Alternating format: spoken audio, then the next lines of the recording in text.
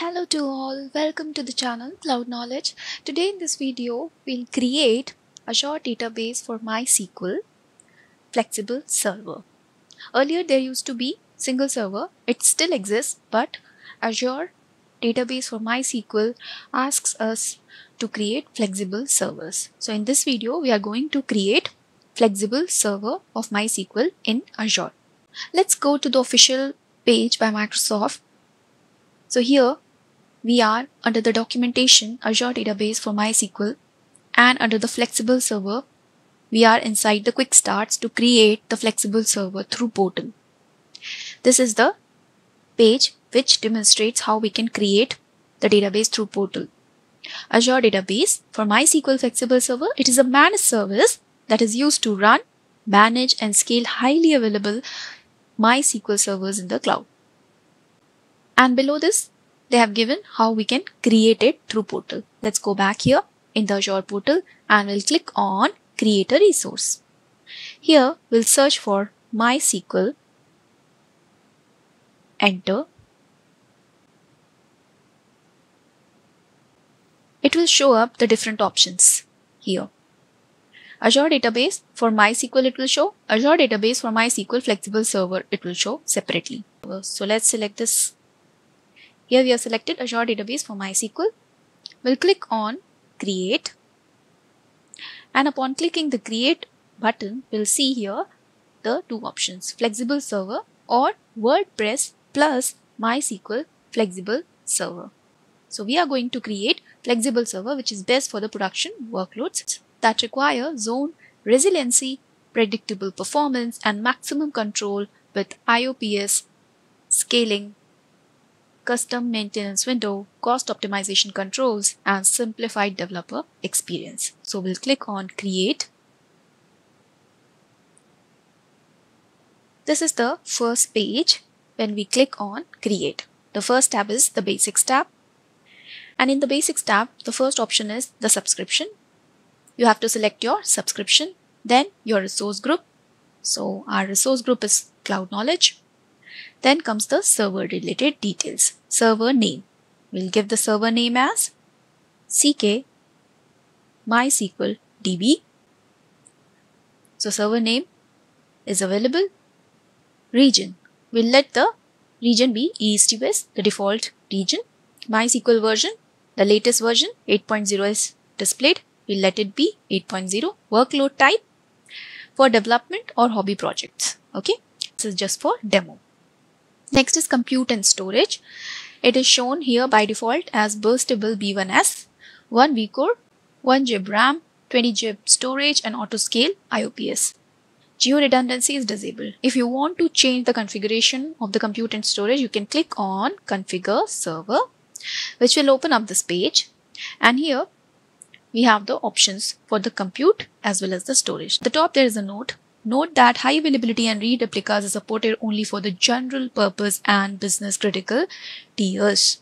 So if we have to use high availability and read replica option, then we have to select general purpose or business critical. It won't be present in burstable.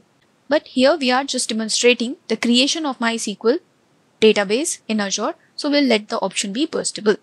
Next is compute size. It is of different compute size we'll let it be the lowest size and then the storage. Storage size in GBs here it is given. The least is selected. IOPS is auto scale pre-provision option. Storage auto growth. It prevents a server from running out of storage and becoming read only so this will let it be checked. High availability whether you want high availability option to be enabled or not. Then backup is there. Backup retention period in days. 7 days is by default. We'll let these options be default. Click save. And then availability zone. You can optionally specify an availability zone in which you deploy your database server to co-locate with your application. So here there is no preference. We'll let it be no preference. Then high availability option is present here too. Same zone and zone redundant high availability provides additional server resilience in the event of a failure. Okay, we can also specify it inside the compute and storage as well as here outside this option is present. Next is the authentication method which we have to select MySQL authentication only, AD authentication, MySQL and Azure Active Directory authentication. Here we'll give the admin username ck mysql db and the password we'll give confirm the password by giving it again so the settings here in the basics tab looks fine. We'll go to the next tab. That is the networking tab. In the networking tab we have to configure the network connectivity public access or private access. Connectivity method to connect to this server, specify the IP address that can access this server. If you are working on real time projects, go for private access. But here, this is for demo, we'll leave it as public access. Allow public access to this resource through the internet using a public IP address. This option also we'll check. Then firewall rules inbound connection from the IP addresses specified below will be allowed to port 3306 on this server. We'll check on allow public access because we want to access this server for demo purpose.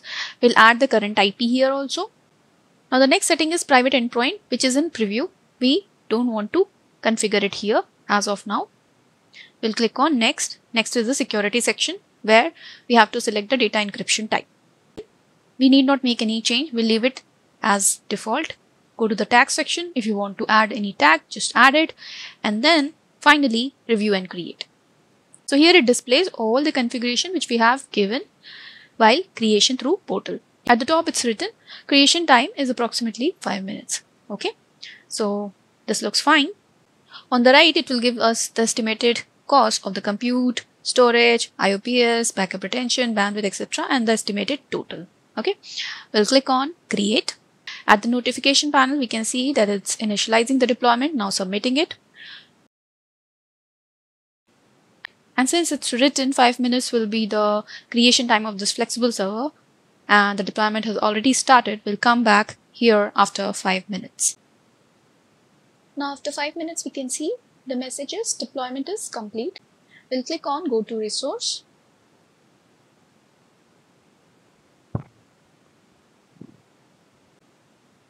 And here comes the first page. CK MySQL DB is the name of the Azure database for MySQL Flexible Server. This is the overview page. Here it will have the subscription, subscription ID, resource group name, status, location. On the right side, server name, admin login name, configuration, MySQL version, availability zone, created on, which date, what time. Our server is created. And at the top, you can see connect button. And here on the right side, stop button means our server is started. The stop button is used to avoid unnecessary costs. We can manually stop the server. So in this video, we studied how we can create MySQL flexible server in Azure.